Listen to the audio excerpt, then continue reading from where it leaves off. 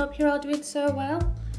Uh, this video is a requested video from one of the subscribers, want to know the shapes that I do and the tips that I use. As you can see I'm just going in with all the tips and I think a lot of people always ask how they make the tips stick to the the, ha the hand. I etch the nail first, really etch it and it just takes a little bit longer, you've just got to hold it a little bit longer than what you do on a client. But other than that, it should stick fine. So I go in with five different shapes. I do a coffin, stiletto, an almond, a tapered square and a ballerina. Now I know a lot of people say that a ballerina and a coffin are the same, but they're not. A coffin is a little bit more tapered at the end and a little bit more narrower. Just look at a ballerina, it's more for like, it's like a ballerina shoe. So it's a little bit wider on the end.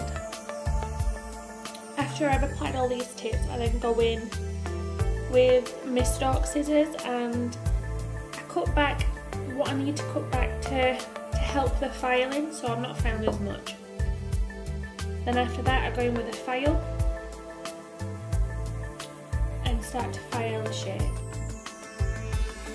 Off camera I have gone in and applied some acrylic just, just so that you can see the effect afterwards.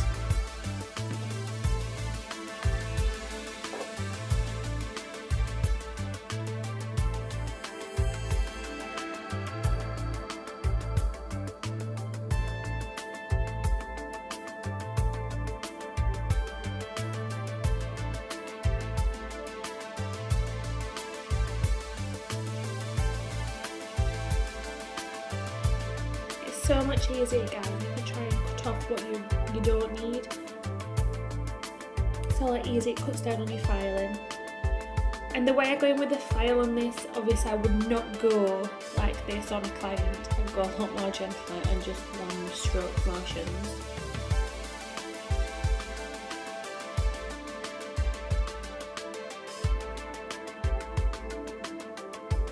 So I just keep the file straight when I'm doing this.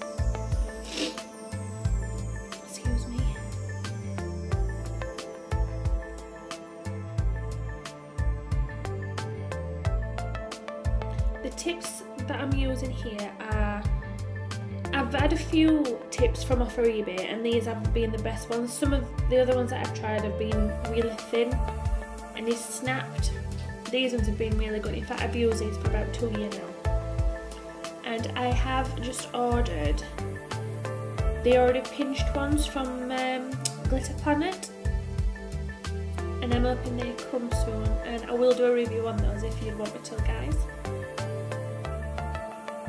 I ordered the stiletto ones and the square ones I think they were.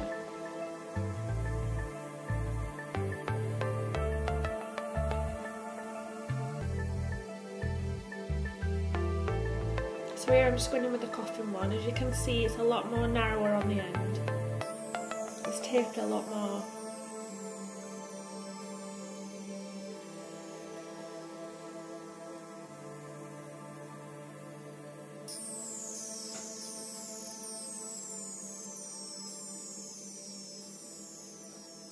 So I have left a little clip at the end guys of what they look like.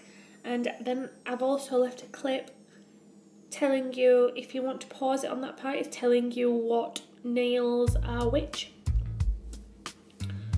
So I'll leave you here guys and I hope you enjoy the rest of the video and I will see you in my next one. Bye